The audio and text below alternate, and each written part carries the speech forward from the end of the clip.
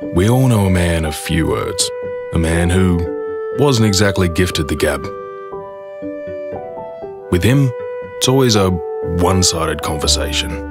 He was once told that a picture says a thousand words, which is why he never posts them. Invite him for a quiet one, and you'll get exactly that. How's work? And when asked to say a few words, Mark Davis. Well done, Mark. Come up here. Come on. thanks, he takes it literally. Short and sweet, Mark. He's the type of man who'd sing an instrumental at karaoke.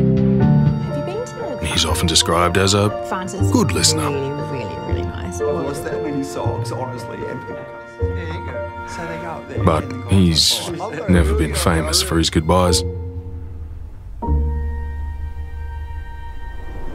But even a man of the fewest words knows that when times are tough, a few words just aren't enough.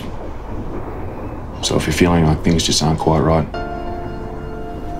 be a man of more words. Tell someone, because talking saves lives.